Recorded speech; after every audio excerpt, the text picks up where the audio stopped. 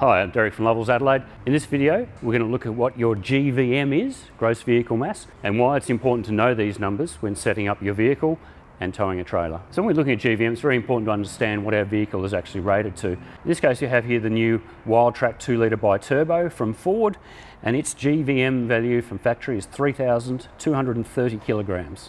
Curb weight is 2,270 kilos, which is a difference of 960 kilos between the two numbers. So when, when it's sitting here with no fuel, no one in it, you've got 960 kilos you can add to it.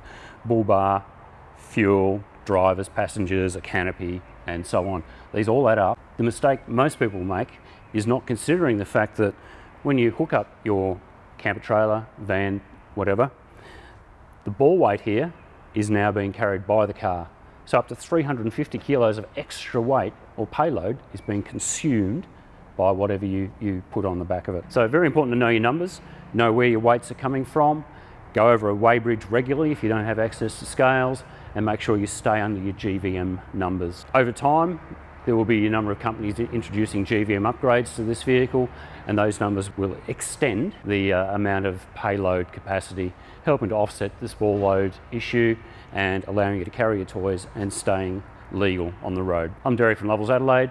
Hit the subscribe button below and keep an eye out for future videos where we look at more in depth into these kinds of topics and more, and more vehicle reviews.